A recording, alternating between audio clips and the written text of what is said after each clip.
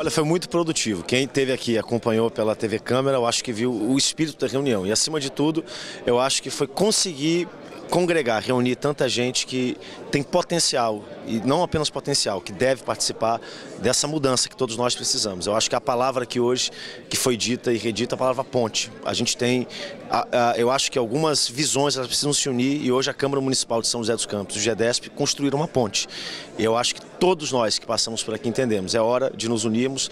Eu acho que nesse momento tudo tem que ficar de lado e fazer algo em prol da cidade. Nós precisamos e a, e a população necessita. E esse espírito de pessimismo que toma conta da, eu, eu não diria só da população, mas de todos os segmentos da sociedade. Eu acho que do empresariado, da população, da classe política, eu acho que ficou muito claro que a gente tem que passar por cima disso, vencer.